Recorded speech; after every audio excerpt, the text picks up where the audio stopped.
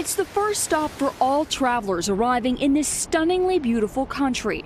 So we've just landed in Iceland. It's passport control and then straight to the PCR test.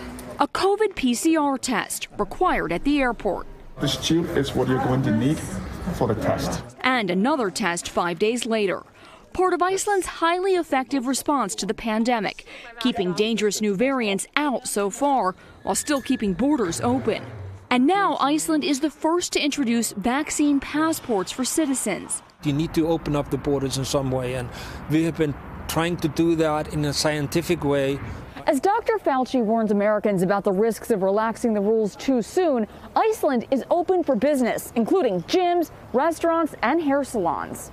Leading the country's widely praised efforts, one of the youngest female leaders in the world. But it's also so important that there are women who are making decisions. 45 year old Prime Minister Katrín Jakobsdóttir, who told us keeping kids in school was key to her.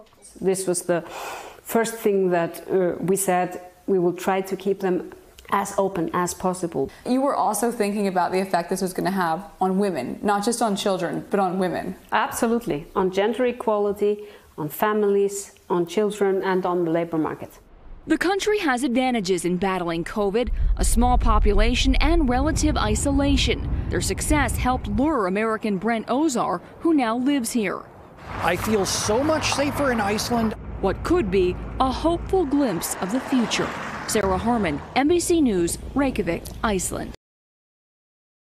Thanks for watching our YouTube channel. Follow today's top stories and breaking news by downloading the NBC News app.